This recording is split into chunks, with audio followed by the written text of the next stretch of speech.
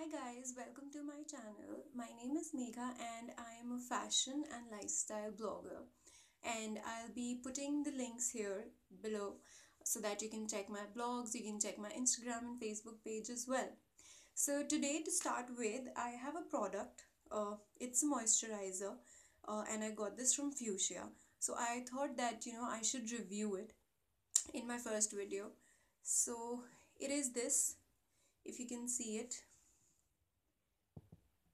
Okay, so um, it's lemongrass and lime revitalizing intense moisturizer. So people who have uh, dry skin would actually need a good amount of this, and uh, people who have normal to oily skin, um, a drop of it would work.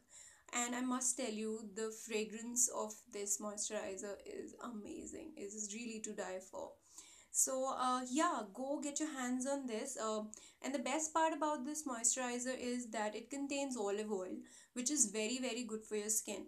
Um, you can even apply it before applying uh, foundation or concealer maybe. It will keep your face very very hydrated.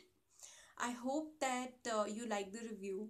And um, i would request you guys to um, subscribe to my channel this is my first vlog, so I got a little conscious and nervous at the same time. I hope you like it and Happy New Year. Have a great day. Bye bye.